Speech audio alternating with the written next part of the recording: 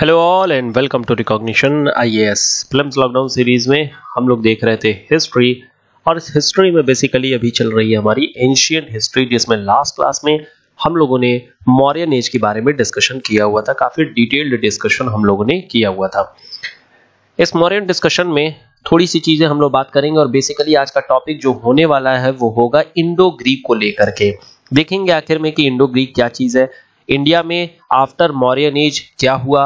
और उस मॉरियन एज के ड्यूरेशन में बियॉन्ड द इंडिया इंडिया के बाहर क्या हो रहा था? इन सारी चीज़ों को देखेंगे, एक interactive and an interesting manner में फटाफट शुरू करते हैं। Let's start let's complete and let's track but before that these are our contact details and these are some of the available courses on YouTube these are prelims special mains special and test series based on subscription तो last class में हम लोगों ने बात किया हुआ था latest stages of late stages of Mauryan empire जहाँ पर हम लोग बेसिकली अशोका के बारे में देख रहे थे। और इस अशोका के बारे में after the death of emperor Ashoka the Mauryan empire collapse within five decade there are many reason given by historian for his disintegration for once mighty empire at its यहाँ पर सबसे ज़्यादा जो इंपॉर्टेंट रीजन फॉर डिक्लाइन है, वो ये है यहाँ का पॉलिटिकल सिस्टम यहाँ की जो पॉलिटिकल सिस्टम हुआ करती थी, वो सेंट्रलाइज्ड मैनर में हुआ करती थी, जैसा कि हम लोगों ने लास्ट क्लास में ही देखा था। हालाँकि इसको रोमिनाथ थापर ने भी इसी को क्रिटिसाइज किया है कि सेंट्रलाइज्ड सिस्टम होने की वजह से जो बाद के रूलर होते हैं, वो इतना अच्छे से एम्पायर संभाल नहीं पाते हैं, जिसके कारण से जो पेरिफेरी के स्टेट्स हैं, वो अपने आप को इंडिपेंडेंट घोषित करना शुरू कर देते हैं। इसके साथ ही जो एक्सटर्नल वर्ल्ड में, बाहर में जितने भी ग्रीक्स हैं या फिर जितने भी सीथियंस हैं या पार्थियंस हैं, वो लोग भी स्ट्रांग होते जा रहे थे। लेकिन कहीं ना कहीं उनको ये जो मगध डायनेस्टी है या फिर कह लीजिए जो मौर्यन डायनेस्टी है, उसका एक थ्रेट था और वो थ्रेट इसी वजह से था क्योंकि अशोक जैसे एम्पर यहाँ पर हो रखे थे। तो जैसे ही अशोक का डिक्लाइन होता है लेटर मॉरियंस आते हैं तो बाहर का जो वर्ल्ड था, वो कहीं ना कहीं ये बात समझ गया था कि now we can attack and we can loot India तो इस वजह से फिर एक्सटर्नल अटैक्स भी होना शुरू हो गए थे। It covered almost whole Indian subcontinent कौन? अशोक के टाइम पे। अशोक की जो पूरी की पूरी टेरिटरी थी, वो मॉडर्न डे केरल और तमिलनाडु को अगर छोड़ दिया जाए और श्रीलंका को छोड़ दिया जाए तो सारा का सारा अंपायर फ्रॉम द तक्षशिला से लेकर के आप बॉटम में कर्नाटक तक देख सकते हैं कि पूरा इलाका अशोक का ही हुआ करता था। अशोक के डेथ के बाद कंट्री जो है या कह लीजिए एम्पायर जो है बेसिकली वो दो पार्ट में टूट गई।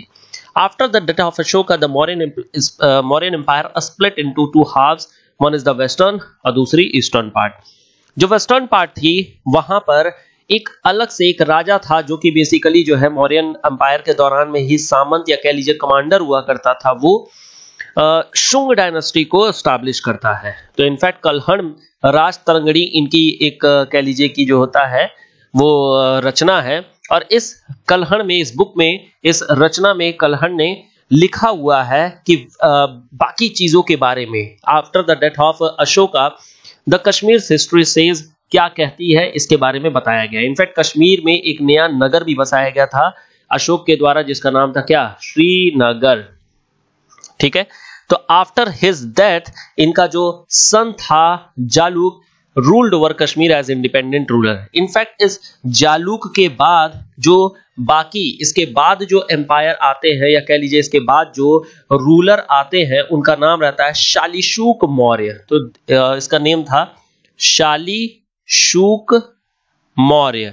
हालाँकि देखिए, याद रखने की ज़रूरत नहीं है। जस्ट एक इंफॉर्मेशन रखिए कि ये एक लास्ट रूलर था जो कि बेसिकली नॉर्थ इंडिया की टेरिटरी में रूल किया हुआ था। काफ़ी वीक था और कह लीजिए कि जो होता है, बहुत ही जल्दी इसका डिक्लाइन हो जाएगा। तो इस तरीके से पार्टीशन हुआ और नॉर्थ वेस्ट के इलाके से चूँकि ये कमज़ोर हो चुका था, इसलिए फॉरेन इन्वेजन होना शुरू हो गए थे फॉरेन अटैक होना शुरू हो गए थे। अब एक, जो मैंने बोला कि सेंट्रलाइज्ड सिस्टम इनके लिए वही नुकसानदेह था तो रोमिना थापर ने ही बोला है कि highly centralised administration under Maurya became a problem with the later Mauryans, who were not as efficient administrators at that there of predecessors तो जितने भी पुराने लोग थे, वो उतना ज़्यादा स्ट्रांगली नए वाले नहीं हो पाए।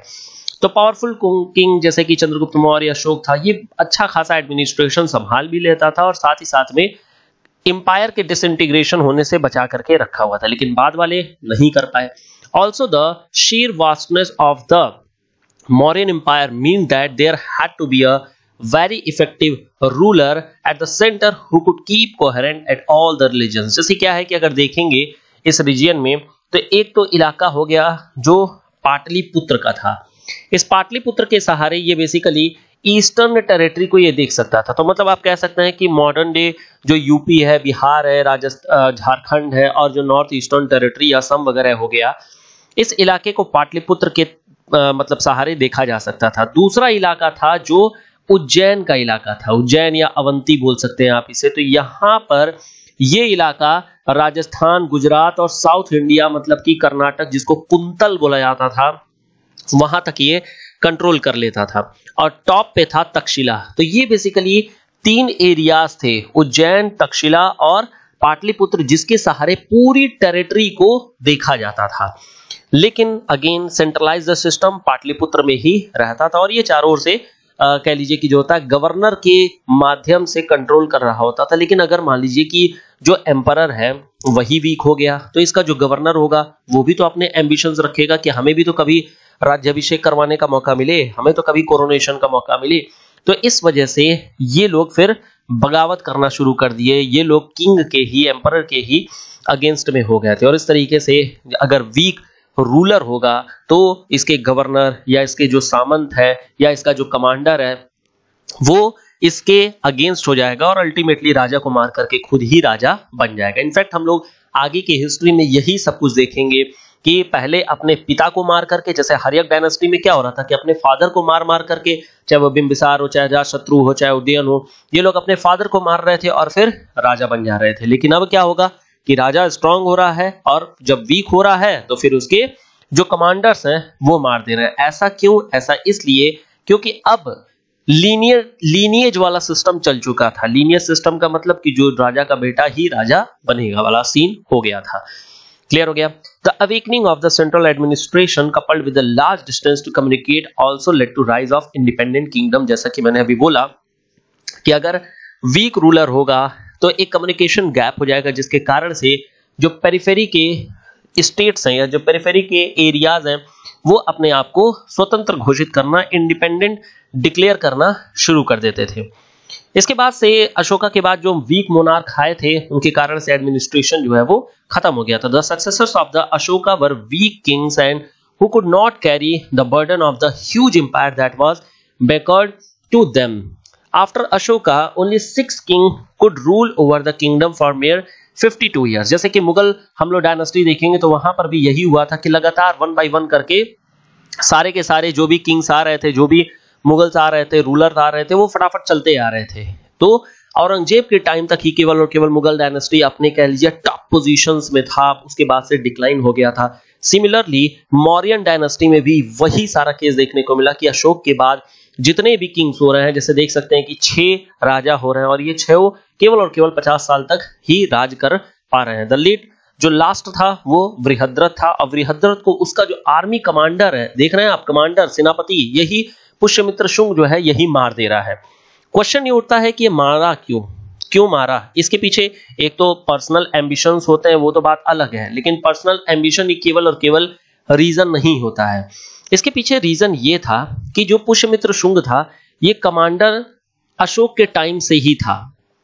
ये देख रहा था कि यार, जो पुष्यमित्र शुंग एक्चुअली ब्राह्मण था तो ये देख रहा था कि जो ब्राह्मणिज्म है ये खत्म किए जा रहे हैं और जो बुद्धिज्म है उसको काफ़ी ज़्यादा बढ़ावा मिल रहा है।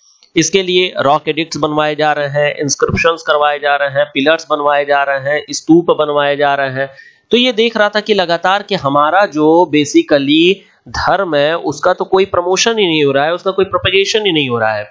तो एज पार्ट ऑफ़ रिज़ल्ट इसने अशोक के जो भी लास्ट रूलर था, बृहद्रथ, उसको मार करके शुंग डायनेस्टी लेकर के आया था। और इस शुंग डायनेस्टी में बेसिकली इसने ब्राह्मणिज्म को वापस से रिवाइव किया। कैसे रिवाइव किया? अशोक ने बनवाया था 84,000 स्तूप। सबको खत्म करवा दिया था। सबको तोड़वा दिया था। तो बाकी हम लोग डिटेल के बारे में बात करेंगे जब शुंग डायनेस्टी के बारे में बात करेंगे। Only the first three king of the Mauryan empire were men of exceptional ability and character. The later kings were no match in quality of their illustration ancestors. अब देखिए, कुछ बात कर लेते हैं हम लोग आर्ट एंड कल्चर से रिलेटेड मॉरियन एम्पायर में। तो हम लोगों ने आर्ट एंड कल्चर से रिलेटेड एक तो रॉक एडिक्ट्स के बारे में हम लोगों ने बात कर ही लिया था और इसमें हम लोगों ने सेवन मेजर रॉक्स के बारे में बात किया था और सिक्स जो है वो छोटे छोटे जो थे, जैसे भाब्रो हो गया, उसके बारे में मैंने आप लोगों को स्टोरी भी बताई थी कि क्या स्टोरी थी? कि मास्क पहनकर गुर्जर नेता भाब्रो उड़ गया था कि नहीं? तो इस तरीके से बेसिकली एक छोटी सी स्टोरी फॉर्म करके मैंने आप लोग को बताया था। साथ ही साथ मैंने यहाँ पर बताया था थ्री प्लस फोर का सिस्टम जहाँ पर तीन जो है, वो अवेयर कर रहा था और चार जो है, वो एडमिनिस्ट्रेशन बता रहा था। है था इसके अलावा 14 सॉरी यहाँ पर रॉक एडिट जो होता है सेवन नहीं 14 थे। और 14 में मैंने आप लोगों को पूरी एक स्टोरी बताई थी कि animal doctor 24 four into seven available रहता है, घूमता, घामता है ब्लॉगिंग करता है ऑल दैट ये सारी स्टोरीज बताया था। और साथ ही साथ सेवन मेजर रॉक सेवन जो है वो पिलर्स थे बेसिकली पिलर्स थे। और यहाँ पर भी अगेन थ्री प्लस फोर वाली कहानी जो मैंने यहाँ पर बताई हुई है, वही यहाँ पर थी एक्चुअली तो ये थी जो रॉक पिलर से रिलेटेड था। अब हम लोग जरा देख लेते हैं इससे रिलेटेड थोड़ी और चीज़ें जिसको है कि केव्स के बारे में। केव्स एक्चुअली उस समय जो बनाई जाती थी, वो बुद्धिज्म और जैनिज्म के लिए बनाया जाता था। हालाँकि जैन और बुद्ध में केवल और फिलॉसफी का अंतर है, बाकी चैत्य विहार और इन लोगों के रहने के लिए जो जगह होती थी, वो यही रहती थी। तो यहाँ पर भी कई सारे विहार बनवाए गए थे और ये विहार बेसिकली केव के फॉर्मेट में थे। यहाँ पर दो इंपॉर्टेंट केव हैं आपके लिए जो जानना है। एक है बराबर केव बराबर, और दूसरी है Nagarjuni cave this is Nagarjuni cave तो यहाँ पर जो आप लोग फ़ोटो देख रहे हैं, ये बेसिकली बराबर केव का ही एक स्ट्रक्चर है, बराबर केव का ही एक फोटोग्राफ है। देखने पे आपको कुछ खास नहीं लगेगा, लेकिन अभी खास लगेगा। अब आपको देखने में समझ में आ रहा होगा कि बेसिकली ये एक रॉक है। ये एक रॉक है जिसको कट करके अंदर से बनाया गया है। इसके अगर आर्किटेक्चर को दिखाऊँ तो ये देखिए, इस तरीके का कुछ आर्किटेक्चर है। जहाँ पर ये पूरा का पूरा एक बड़ा सा रॉक है और उसको अंदर से कट करके खोखला बना दिया गया है। इसको अंदर से कह लीजिए कि पूरा का पूरा हॉलो कर दिया गया है। और इस हॉलो सिस्टम में अंदर जा करके लोग रहते थे। बाकी वेंटिलेशन का भी सिस्टम हो रखा था ताकि लोग जो है अच्छा खासा जो भी एयर है, वो जाते रहे, आते रहे। तो इस तरीके की ये जो सिस्टम बनाई गई उसका नाम था बराबर केव इस बराबर केव में दो इंपॉर्टेंट केव्स हैं। मतलब इसमें भी दो इंपॉर्टेंट केव है। एक है जिसका नाम है Sudama. This is Sudama cave और दूसरी केव का नाम है कर्ण चौपार। दिस इज़ कर्ण चौपार। दोनों का नाम याद रखिएगा इंपॉर्टेंट है एग्ज़ाम में क्वेश्चंस पूछे जाते हैं। ये दोनों के दोनों जो है बेसिकली आजीविका सेक्ट के लोगों को दे दिया गया था। तो दिस इज़ आजीविका सेक्ट ठीक है? आजीविका सेक्ट के लोगों को दे दिया गया था। इसके अलावा एक और केव थी, जिसका नाम था नागार्जुनी केव, और देख सकते हैं फोटोग्राफ ये दोनों जो केव है, वो बिहार में है। ये ध्यान में रखिएगा, कई बार ये लोगों के माइंड से स्किप कर जाता है। केवल और केवल जो है, केव के बारे में पढ़ लेते हैं, लोकेशन नहीं पढ़ते हैं। लोकेशन भी देखिए, ये जो है वो बिहार में है। नागार्जुनी केव जो है दिस इज़ नागार्जुनी केव, ये बनाया गया था अशोक के लड़के, अशोक का जो सन था, उसका नाम था दशरथ। तो दशरथ के द्वारा बनवाया गया था ये। और यहाँ पर अगेन तीन पार्ट है। केव के तीन पार्ट हैं, तीन नाम रखे गए हैं। एक है, जो है गोपी। गोपी नाम है। दूसरे का नाम है लोमर्षि। लोमर्षि भी एक ऋषि हुआ करते थे, लोमर्षि। ठीक है? लोमर ऐसे चाहिए यहाँ पर। तो लोमर्षि हो गया। और तीसरी थी वड़िका दिस इज़ वर्णिका ठीक है? वड़िका तो ये बेसिकली तीन इंपॉर्टेंट केव जो आपको ध्यान में रखना है। इसके अलावा अशोक ने एक विश्व झोपड़ी केव भी बनवाया हुआ था। लेकिन यही दोनों इंपॉर्टेंट है हमारे लिए फ़िलहाल के लिए। आगे अगर देखा जाए तो कुछ इंडिपेंडेंस ऑफ़ द प्रोविंस के बारे में बात कर लेते हैं। इंडिपेंडेंस ऑफ़ द प्रोविंस का मतलब ये हो गया कि किस तरीके से आगे सिस्टम बढ़ा है तो आफ्टर शो जो बाकी के किंग थे, उन पे सेंट्रल कंट्रोल नहीं रहा, जिसके कारण से पूरा जो सिस्टम था वो डिसइंटीग्रेट हो गया। और ये जो किंगडम है, या कह लीजिए कि जो बाकी सिस्टम है, बाकी राज्य है, उसके बारे में जातक स्टोरीज में लिखा गया है। तो ये बेसिकली जो है, बताया गया है कि कश्मीर जो है, वो जालुका के द्वारा जो है, वो रूल किया जाता था इंडिपेंडेंटली हालाँकि यहाँ पर नॉर्थ में एक मौर्यन किंग भी हुआ करता था उस समय। जिसका नाम क्या था? बताया था मैंने अभी। शालिशुक मौर्य। तो ये बेसिकली वहाँ पर रूल कर रहा होता था, लेकिन अगेन वो वीक होता था। इसके अलावा कलिंग जो है, वो इंडिपेंडेंट हो गया। According to the Tibetan source Veer Sen इनका नाम याद रखिएगा, काफ़ी इंपॉर्टेंट है। वीर सेन इन्होंने रूल किया गांधार इंडिपेंडेंटली तो देख सकते हैं आप कि एक इलाका जो गांधार तक्षशिला के पास था, वो भी अगेन सेंट्रल प्लेस से दूर था, इसलिए वीर सेन ने वहाँ पर इंडिपेंडेंट रूलिंग करना शुरू कर दी। कश्मीर अगेन इंडिपेंडेंट हो गया, जालुका यहाँ पर कह लीजिए कि जो होता है वो रूल करना शुरू कर दिए। कलिंग इसी तरीके से अगेन फ्री हो गया। कलिंग पे अपना अलग अधिकार हो गया था। तो इस तरीके से हर एक जो एरिया है, वो अलग अलग टूट गया। और टूट जाने के कारण से अगेन वही इंटरनल रिवोक और इंटरनल रिवोक के कारण से पुष्यमित्र शुंग भी जो है, वो अटैक कर देता। अटैक करने के बाद अल्टीमेटली जो है, पूरा का पूरा जो एम्पायर है, उसमें शुंग डायनेस्टी स्टैब्लिश करता है। इस पूरी स्टोरी को हर चरित्र में डिस्क्राइब किया गया है कि किस तरीके से शुंग ने पुष्यमित्र शुंग ने बृहद्रथ को अटैक करके मार दिया था और इसको लिखा गया था बाण भट्ट के द्वारा। कौन सी चीज़? हर्षचरित तो हर्षचरित बेसिकली हालाँकि हर्षवर्धन के लिए लिखी गई है बट यहाँ पर शुंग के बारे में भी लिखा गया है कि किस तरीके से शुंग ने अटैक करके बृहद्रथ को मार करके अल्टीमेटली शुंग डायनेस्टी स्टैब्लिश की। इस शुंग डायनेस्टी, ये जो कांड हो रहा था, वो तो इंडिया में हो रहा था, लेकिन बाहर क्या हो रहा था? बाहर में during the reign of three Mauryan king कोई भी फॉरेन इन्वेजन इंडिया में नहीं हो पाया था। उसके पीछे रीजन यही था कि यहाँ के लोग डरे हुए थे।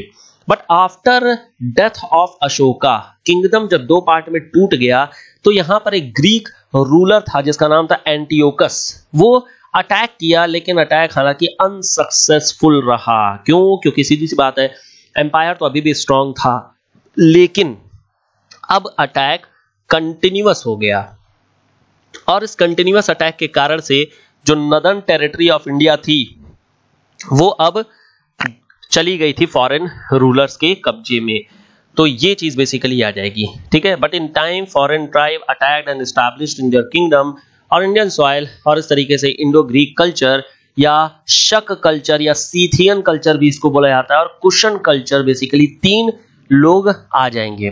तो हमें सबसे पहले अगर देखें तो सबसे पहले आए थे लोग, बैक्टीरिया के लोग आए थे। बैक्टीरिया के बाद जब आगे आया था तो फिर शकाज या कह सकते हैं कि ग्रीक्स आए थे।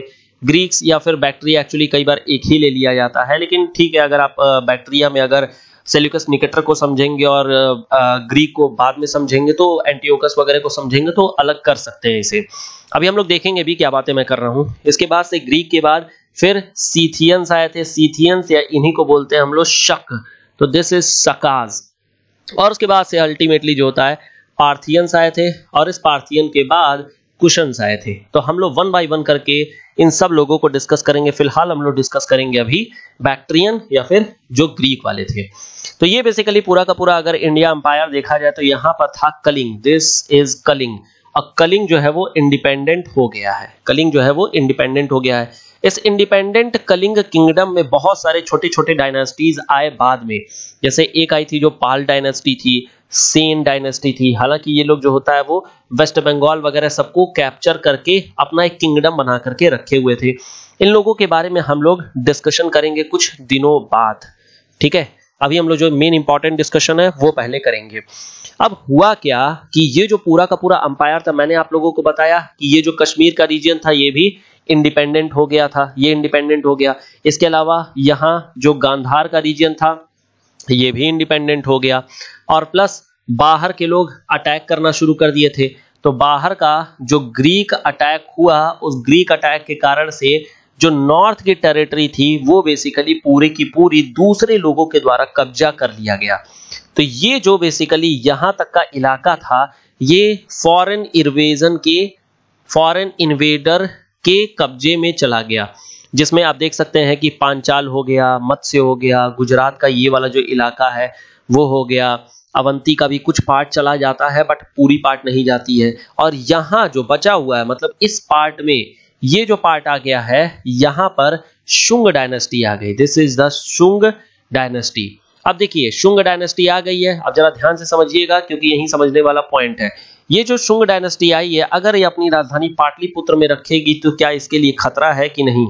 क्योंकि इसकी जो मेन टेरिटरी है, वो तो सेंट्रल इंडिया में आ गई है। तो Shunga has to transfer their capital तो इस वजह से शुंग ने क्या किया कि अपनी जो कैपिटल है जो पहले पाटलिपुत्र थी, उस पाटलिपुत्र को ट्रांसफ़र करके विदेह लेकर के आए। तो this is the Videha Videha या कह लीजिए विदिशा लेकर के आए। विदिशा विदिशा इन मध्य प्रदेश। तो मध्य प्रदेश में जो शुंग के जितने भी आर्ट एंड कल्चर या जो भी कुछ रिलेटेड होगा, कहाँ मिलेगा हमें? सब कुछ मिलेगा मध्य प्रदेश में।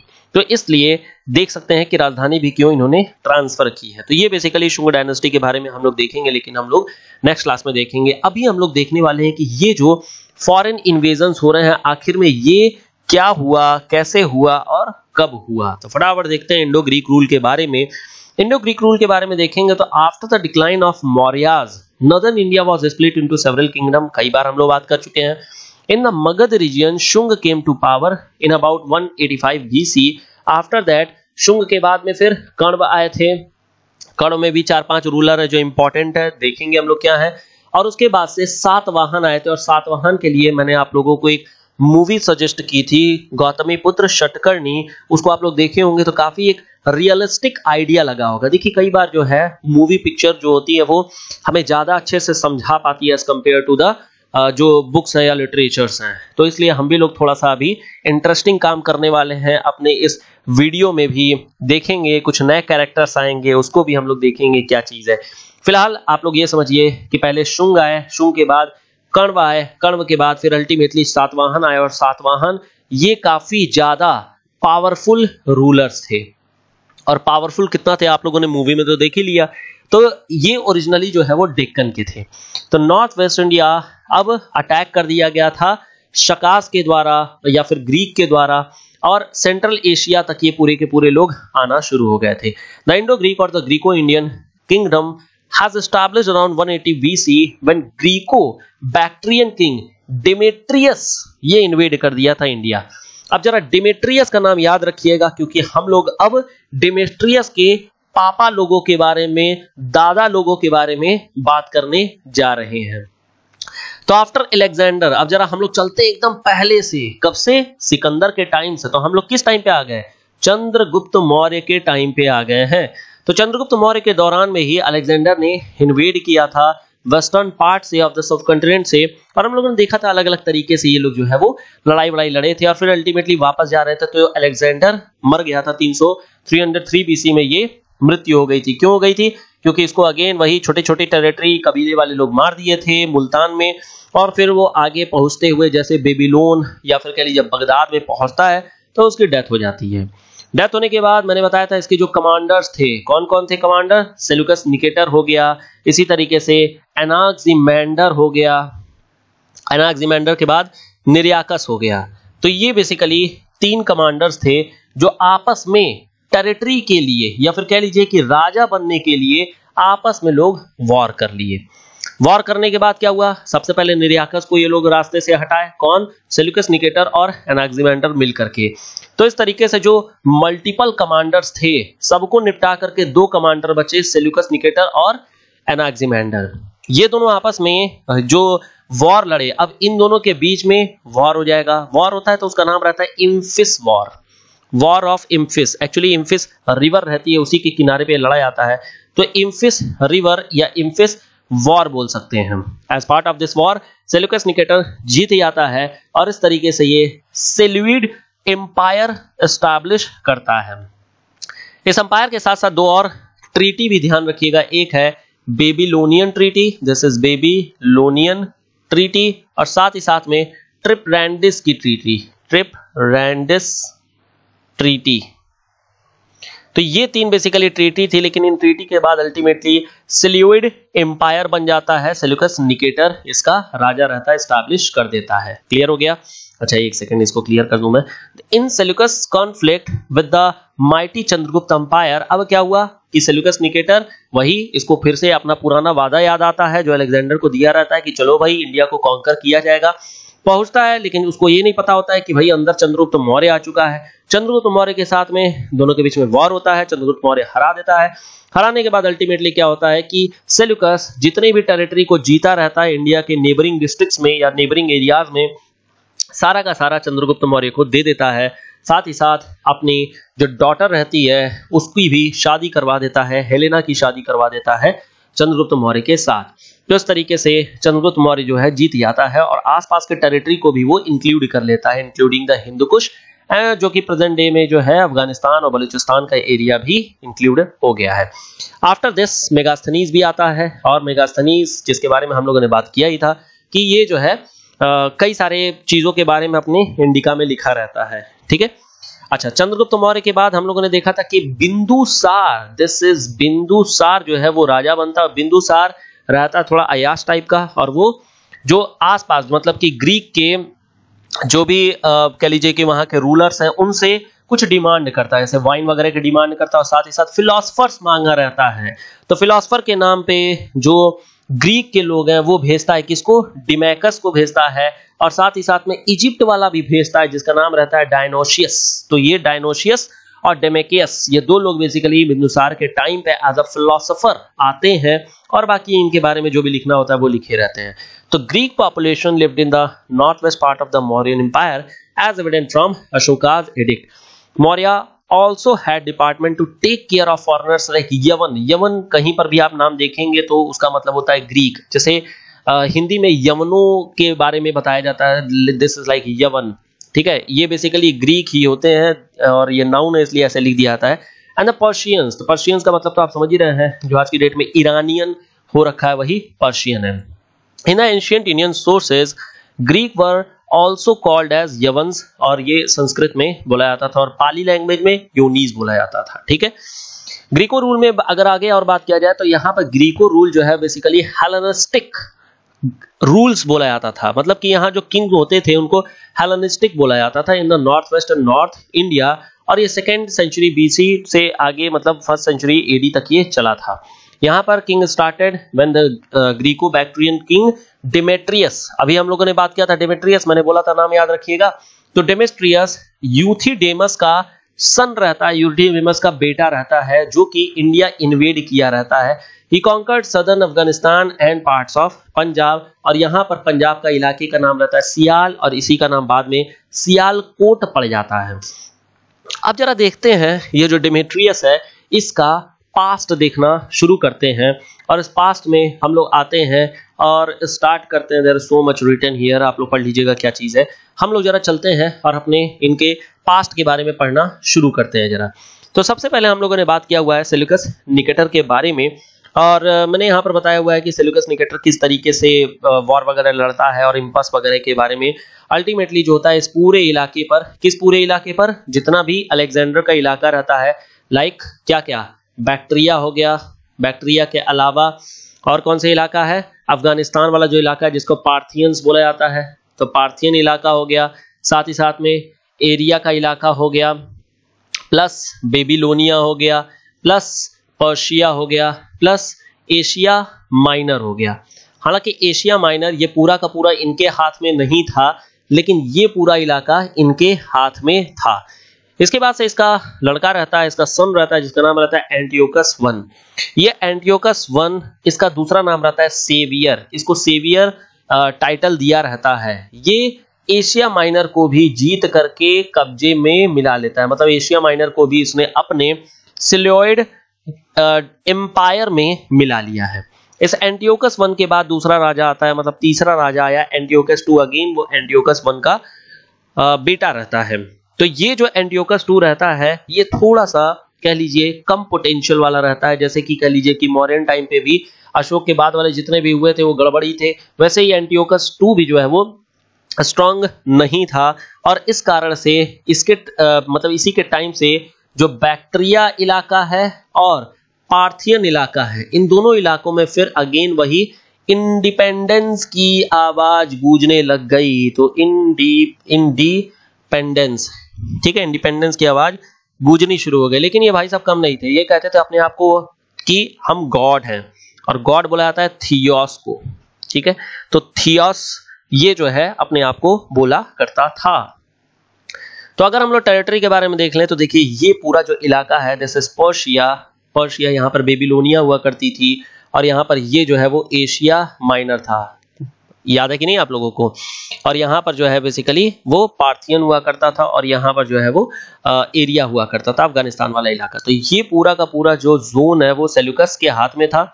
बाद में जो जो एंटीओकस है एंटीओकस ने इसको भी जीत लिया था और इस तरीके से पूरा का पूरा एरिया इसने अपने कब्जे में ले लिया था। ध्यान में रखिएगा, ये एरिया नहीं है। दिस इज़ नॉट अरेबिया वाला जो पार्ट है, ये इसके कब्जे में नहीं है, ये इंडिपेंडेंट है इजिप्ट भी इंडिपेंडेंट है, ठीक है?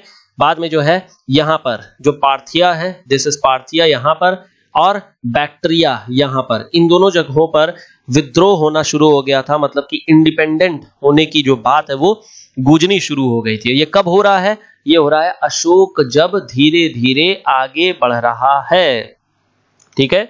अब देखिए, ये बेसिकली वो तीन इलाके हैं। One is the Greek area second Bactria और पार्थियंस तो मैंने तीन कॉलम आप लोगों को दिखा दिया, जहाँ पर आप देख सकते हैं कि यहाँ पर एक बैक्टीरिया का इलाका मतलब कि ये पार्थियन इलाका हो गया और सिमिलरली ये बैक्टीरिया का इलाका और बाकी इलाके हो गए ठीक है? इसके अलावा यहाँ पर भी देखिए, ये जो यूरोपियन साइड है यूरोपियन साइड हो गया इटली साइड हो गया, यहाँ पर भी अपनी खुद की एम्पायर चल रही थी, जिसका राजा था यूथी डेमस हम लोग देखेंगे आगे। ठीक है तो ये इलाका भी याद रखिएगा। This is this is also important क्योंकि यही अटैक करेगा अभी आगे।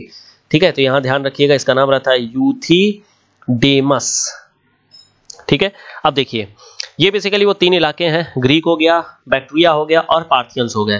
इन तीनों के रूलर देख सकते हैं आप एंटीओकस थ्री एंटीओकस टू के बाद एंटीओकस थ्री आ जाता है उसका लड़का। और ये जो अपने पिता, जो कि थोड़ा सा कम पोटेंशियल वाला रहता है, या और गड़बड़ रहता है। मतलब गड़बड़ इन द सेंस कि फिर भी ठीक ठाक ही रहता है अटैक वटैक कर सकता है, थोड़ा सा पावर ज़रूर रहता है इसके पास, लेकिन थोड़ा ही पावर रहता है, बहुत ज़्यादा पावरफुल नहीं रहता है।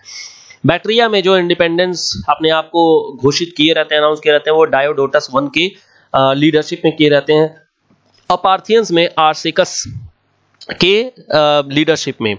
अब देखिए, ये दोनों आपस में इन दोनों की नहीं बनती है। ये दोनों आपस में एक दूसरे को ही कहते हैं कि भाई मारपीट कर लेते हैं और एक दूसरे के टेरिटरी को छीनने की कोशिश करते हैं।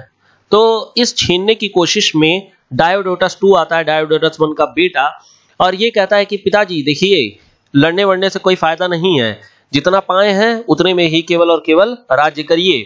तो इस वजह से ये क्या करता है आर्सेकस मतलब पार्थियन के साथ में ये ट्रीटी कर लेता है कि भैया तुम्हारा जितना है, वो तुम अपने पास रखो, हमारे पास जितना है, वो हम अपने पास रखेंगे। मतलब कि डायोडोटस एक तरीके से कह सकते हैं डिप्लोमेटिक तरीका अपनाया था। और इस डिप्लोमेटिक तरीके से ये पीस कायम करने की पीस स्टैब्लिश करने की कोशिश करता है, लेकिन डायोडोटस के ऊपर अटैक होता है। किसका? डायोडोटस के ऊपर एंटीओकस थ्री का अटैक होता है। तो बेसिकली एंटीओकस अभी अटैक नहीं किए हैं। This man is what this man is Antiochus three. ठीक है? Antiochus three. यहाँ पर अटैक होता है पहले यूथीडेमस का, किसके ऊपर? डायोडोटस के ऊपर। और ये अटैक करके बेसिकली डायोडोटस को हरा देता है और अल्टीमेटली यूथीडेमस बन जाता है बैक्टीरिया का किंग। तो ये कैप्चर कर लिया है यूथीडेमस लेकिन फिर यूथीडेमस और एंटीओकस थ्री है। अब इन दोनों के बीच में वॉर होगा तो इन दोनों के बीच में अल्टीमेटली वॉर होता है। ये डायोडोटस नहीं, ये एंटीओकस है। दिस इज़ एंटीओकस थ्री तो ये दोनों बेसिकली एक दूसरे से वॉर लड़ते हैं। वॉर लड़ते हैं तो दोनों पावरफुल है। और पावरफुल होने के कारण से कोई भी रिज़ल्ट नहीं निकलता है। पार्ट ऑफ़ रिज़ल्ट क्या होता है? एक बंदे को भेजता है एंटीओकस की, जाओ, तुम जरा वार्ता वार्ता कर लो, देख लो क्या होता है। तो अल्टीमेटली ये भेजा जाता है टेलियस को। टेलियस जाते ज़रूर हैं, लेकिन केवल हँसी मज़ाक करते रह जाते हैं और कुछ भी कंसिक्वेंस पे नहीं निकल के आ पाते हैं। तो एज पार्ट ऑफ़ रिज़ल्ट क्या होता है? एज पार्ट ऑफ़ रिज़ल्ट जो यूथी डेमस है, ध्यान रखिएगा यूथी डेमस फिर भेजता है डिमेट्रियस को। तो यूथी डेमस एक्चुअली जो ये है एरो है, वो इस साइड में होना चाहिए। डिमेट्रियस को फिर भेजता है और ये वही डिमेट्रियस है जो हम लोग अभी ध्यान दे रहे थे। मैंने बोला था कि ध्यान में रखिएगा, यूथीडेमस का ये लड़का रहता है, यूथीडेमस का लड़का जिसका नाम रहता है डिमेट्रियस। डिमेट्रियस जाता है और एंटियोकस थ्री के साथ बातचीत करता है। बातचीत करता है और अब सीधी सी बात है हिज एन एक्टर तो कुछ ना कुछ काम तो करेगा ही। तो ये बेसिकली जाता है, बात करता है और बात तो करता ही करता है, शादी करके आता है। किससे? एंटियोकस के this is Antiochus Antiochus three के डॉटर रहती है, उससे शादी करके आता है। मतलब कि अब क्या हुआ कि जो यूथीडेमस है और जो एंटियोकस है, इन दोनों के बीच में अच्छा खासा रिलेशन बन चुका है, मैरिटल रिलेशन बन चुका है। तो इन दोनों के बीच में जो वॉर लाइक कंडीशंस थी, वो अब शांत हो गई हैं, वो पीस हो गया है और दोनों एक दूसरे की फैमिली बन चुके हैं।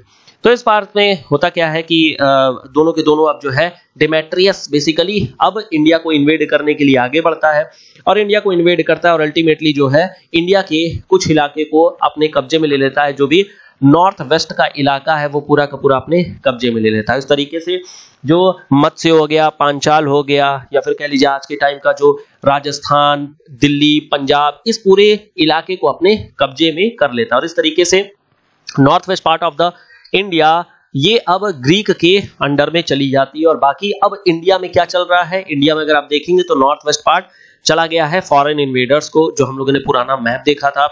और जो सेंट्रल इंडिया का पार्ट है और साथ ही साथ जो ईस्टर्न का पार्ट है, वो कलिंग इंडिपेंडेंट है और बाकी के एरिया में शुंग डायनेस्टी आ गई है। साउथ में अगर आएँगे तो चेर, पांड्य, ये सब है, लेकिन अभी ये कबीले फॉर्मेट में रह रहे हैं। यहाँ पर कोई खास एक कह लीजिए, संगठित रूप में, एक कह लीजिए कि जो है स्टेट के रूप में ये निकल करके नहीं आए हैं। तो पूरा इंडिया का मैप क्लियर हो गया है। अब हम लोग जरा आगे बढ़ते हैं ग्रीको कल्चर में ही, और डिमेट्रियस के बाद जरा देखते हैं क्या कोई इंपॉर्टेंट रूलर क्या कोई इंपॉर्टेंट राजा आया है। तो बिल्कुल इंपॉर्टेंट राजा एक आया है, जिसका नाम रहता है मिनाइंडर तो ही इज़ अ मिनाइंडर अब मिनांडर के बारे में अगर बात कर लिया जाए तो देखिए मिनांडर वन, ये सोटर भी बोलते हैं। He was also known as Menander Menander या फिर मिलिंद। तो मिलिंद जो है, इसका नाम दिया रहता है, एक बुद्धिस्ट मॉन्क रहता है। वो इसका नाम मिलिंद रहता है रखता है। और इसी के नाम पे ये एक बुक लिखता है, जिसका नाम रहता है मिलिंद पन्हू। बात करेंगे। और इस बुद्धिस्ट का नाम क्या है? इस बुद्धिस्ट का नाम रहता है नागार्जुन। दिस इज़ नागार्जुन इसके पीछे एक स्टोरी भी है, सुन लीजिए स्टोरी क्या है। एक बार होता क्या है कि मिलिंद और, मिलिंद मतलब कि मिनांडर और नागार्जुन दोनों एक दूसरे के साथ में वाद विवाद मतलब कि डिबेट करना शुरू कर देते हैं। As part of the debate जो मिनांडर रहता है, काफ़ी ज़्यादा इन्फ्लुएंस्ड हो जाता है नागार्जुन से, जिसके कारण से जो नागार्जुन है, वो अगेन कह लीजिए कि जो होता है बुद्धिस्ट जो रिलीजन है, वो मिलंद को फॉलो करा देता है और मिनांडर जो है वो बुद्धिस्ट फॉलोअर बन जाता है। और इसके कारण से फिर जो नागार्जुन है, वो एक आगे जाकर के एक स्टोरी लिखता है, एक बुक लिखता है, जिसका नाम रहता है मिलिंद पन्हो। तो इस तरीके से मिनांडर जो है, वो आ जाते हैं अपने इस फॉर्मेट में। क्लियर हो गया क्या चीज़ है? अच्छा आगे बात कर लेते हैं मिनांडर के बारे में। He was initially king of Bactria his empire invaded by Kabul river valley in the west to the Ravi river in the east तो अगेन दोनों के बीच में कह सकते हैं कि जो स्वात वैली आज की है, जहाँ से अगेन कौन है स्वात वैली से? स्वात वैली से है मलाला यूसुफ जई, ठीक है? तो ये बेसिकली स्वात वैली से है। तो स्वात वैली अगेन कहाँ पे है? अराकोशिया या फिर इसी का नाम हम लोग एरिया बोल रहे थे। तो एराकोशिया जो कि बेसिकली अफ़गानिस्तान के एरिया में पड़ता है, इस इलाके को ये रूल कर रहा था। तो according to some Indian source he went as far as Rajasthan and Pataliputra आगे भी बढ़ा था और बुद्धिज्म कन्वर्ट हो गया था और मैंने आप लोगों को पूरी स्टोरी ही बता दी कि किस तरीके से नागार्जुन ने डिबेट के फॉर्मेट में मिनांडर को बुद्धिज्म में कन्वर्ट करा दिया था। 130 थर्टी बीसी में ये आ, मर जाते हैं और उसके बाद से इसका जो लड़का रहता है स्ट्रैटो ये राजा बनता है। मिलिंद पन्हो के बारे में ऑलरेडी मैंने बता दिया कि it is a dialogue between Milinda and Buddhist sage Nagasena अच्छा नागार्जुन नहीं, यहाँ पे मैं बार बार नागार्जुन बोल रहा था। Actually the name was the Nagasena ठीक है? ओरिजिनली रिटर्न इन संस्कृत बाद में जो होता है only the Pali version is available right now ठीक है? तो ये सब आप लोग देख लीजिएगा, इतना कुछ खास है नहीं। Okay okay. अब इसके बाद से थोड़ा सा हम लोग कॉइन्स के बारे में बात कर लेते हैं, जो इंडो ग्रीक कल्चर से रिलेटेड कॉइन्स है। काफ़ी इंपॉर्टेंट है तो इसके बारे में देख लेते हैं कि कॉइन्स जो है, वो बेसिकली हिंदू कुश के रीजन में काफ़ी ज़्यादा सर्क्यूलेटेड थे। Not only in the Hindu Kush region but also in the Bharuch this is Bharuch Bharuch का मतलब this was this was the port of Gujarat और काफ़ी ज़्यादा ये कह लीजिए कि जो होता है ट्रैफ़िक था। बहुत ज़्यादा यहाँ से चीज़ों को जाते थे। और ये जो गुजरात है, ये इंडस वैली के टाइम पे क्या नाम था इसका? इसी का नाम था लोथल। और यहाँ पर अगेन उस समय भी काफ़ी बिज़ी पोर्ट था। आज की डेट में भी मतलब कि ग्रीक टाइम पे भी ये काफ़ी ज़्यादा बिज़ी पोर्ट था, जिसका नाम उस समय भड़ौच था। तो इस इलाके में भी काफ़ी ज़्यादा इसके कॉइन्स चलते थे। इसके कॉइन के बारे में बात करें तो ये देखिए गोल्ड सिल्वर कॉपर और निकिल के कॉइन्स होते थे। इसमें ग्रीक लीजेंड्स बने होते थे। ग्रीक लीजेंड्स मतलब इसके जो भी रूलर हैं या फिर इसके जो डाइटीज हैं, वो बने होते थे। तो the in the Indo ग्रैंगटिक Indo Greek coin had royal patronage on the observers and Greek deities जैसे ज्यूस हो गए अपोलो हो गए एथेना हो गए, ये बेसिकली बने होते थे उनके दूसरे साइड में। इसके अलावा साउथ ऑफ़ द हिंदू कुछ रीजन में भी कुछ क्वाइंस जो है वो सर्कुलेट होते थे, लेकिन ये क्वाइंस जो है थोड़े अलग होते थे। जैसे ये बने होते थे सिल्वर और कॉपर क्वाइंस के मोस्टली जो है वो स्क्वायर शेप में होते थे। Indian weights standard were followed in making of these coins. They had bilingual inscription और ये दो भाषा में, जैसे एक ग्रीक और दूसरा खरोष्टी जैसे दोनों एक सिक्के के दो पहलू वन साइड वन फेस दो फेस होते हैं ना? तो एक फेस पे ग्रीक अक्षरों में लिखा होता था दूसरे में खरोष्टी अक्षरों में खरोष्टी स्क्रिप्ट में लिखा होता था। On the obverse of the coin, royal patronage were present and on the reverse, religious ये सब बने होते थे। क्लियर हो गया? ये देख सकते हैं इस तरीके की कॉइन होती थी जहाँ पर जो है कभी डाइटीज का कभी रूलर का इस तरीके से नाम लिखा होता था। स्क्वायर शेप में भी आप देख सकते हैं this was the square shape हालाँकि ये जो होता है जनरली सारे के सारे सर्कुलर ही हैं। तो ये बेसिकली चल रहा था। तो ये जो कॉइन्स है, ये नॉर्दर्न साइड ऑफ़ जो भी सिस्टम है, हिंदू कुश, वहाँ पर पाया गया है ये। ये जो क्वाइंस है, ठीक है? नाउ कि इंडो ग्रीक कैसे डिक्लाइन किया? इंडो ग्रीक डिक्लाइन करने के लिए जो लास्ट रूलर था, वो स्ट्रेटो टू था। और ये पंजाब के एरिया में रूल कर रहा था। इसके रूल के दौरान में बाकी सीथियन अटैक यानी शकों का अटैक हो गया था। It is believe that Greek people lived for several centuries more in India under the Indo Parthians and Kushans तो ये थी बेसिकली आज की डिस्कशन अगर आपको कोई डाउट होता है तो आप इन चैनल्स का यूज़ करके अपने डाउट को पूछ सकते हैं। अगर नेक्स्ट क्लास में हम लोग जो देखेंगे, वो देखेंगे आखिर में जो शकाज इस इंडो ग्रीक कल्चर को अटैक किए हैं, आए हैं तो क्यों आए हैं और पार्थियंस की क्या हिस्ट्री रही है? पार्थियंस शक से पहले थे या बाद में थे और ऐसा क्या पार्थियन ने किया जिसके कारण से शकों को कुछ अलग तरीका अपनाना पड़ा? तो ये सारी चीज़ें हम लोग देखेंगे अपने नेक्स्ट क्लास में। मिलते हैं नेक्स्ट वीडियो में। Till then goodbye and thank you so much